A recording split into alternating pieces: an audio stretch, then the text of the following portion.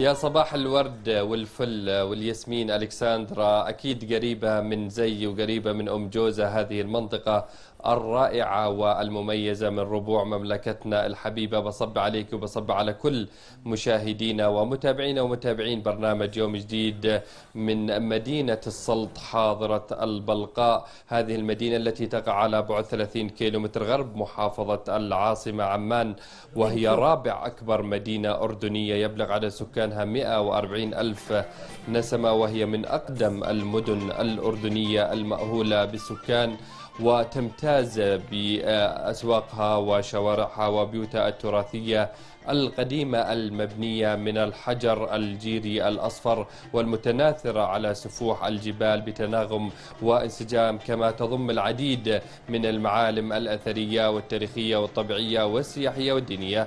طبعا مشاهدينا اليوم راح نطل عليكم وعلى الهواء مباشرة من منطقة علان ونتعرف أكثر على هذه المنطقة الرائعة والمميزة. وأيضا راح نتعرف على مركز شابات علان. بتمنى الكل يتابعنا ويتابع قافلة برنامج يوم جديد. صباحكم سعيد.